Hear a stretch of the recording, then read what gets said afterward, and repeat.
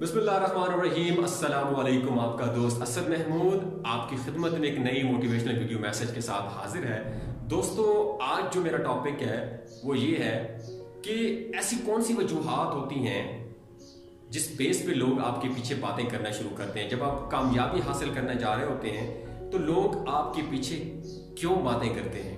تو سب سے پہلے میں آپ کو بتاؤں کہ کامیابی کی سب سے پہلی نشانی ہی یہی ہے کہ یہ حاصل لوگ جیلس لوگ، کرٹک لوگ، نفرت کرنے والے لوگ آپ کو کامیابی کے ساتھ جہیز میں فری میں مل جاتے ہیں۔ اگر آپ کو چینلائز کرنا آتا ہے تو ویل اینڈ گڈ دوستو، یہ تین ایسی ریزن کون سی ہیں جس بیس پہ یہ لوگ آپ کے پیچھے باتیں کرنا شروع کرتے ہیں تو نمبر ون ریزن یہ ہے کہ جب آپ کامیاب ہو جاتے ہیں تو قدرت آپ کو رتبے سے بھی نوازتی ہے اور ایک بہت بڑے لیول سے بھی نواز دیتی ہے۔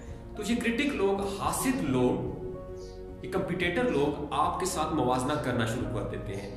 جب موازنہ کرتے ہوئے ان کو وہ رتبہ اور سٹیٹس نہیں ملتا، تو سب سے پہلے آپ کے پیچھے یہ محاذ بنا دیتے ہیں۔ آپ کو ٹارگٹ کرنا شروع کر دیتے ہیں، آپ کے اوپر تنقید کرنا شروع کر دیتے ہیں۔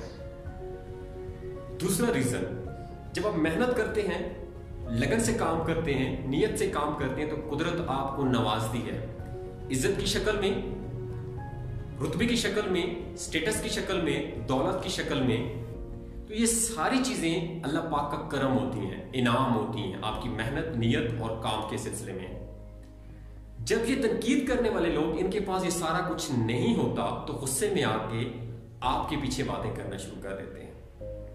تیسرا ریزن تیسرا ریزن یہ ہوتا ہے کہ جب آپ اتنا کام، اتنی محنت، اتنی لگن سے سب کچھ کر رہے ہوتے ہیں اس کے بعد آپ کا ایک اپنا سٹائل بن جاتا ہے۔ آپ کی زندگی گزارنے کا ڈھنگ، جسے ہم لائف سٹائل کہتے ہیں، وہ بھی تبدیل ہو جاتا ہے۔ آپ کی شخصیت تبدیل ہو جاتی ہے۔ تو یہ کمپیٹیٹر لوگ، یہ جیلس لوگ آپ کے پورے لائف سٹائل کو کاپی کرتے ہیں اور کہیں جا کے پیسٹ کرنا چاہتے ہیں۔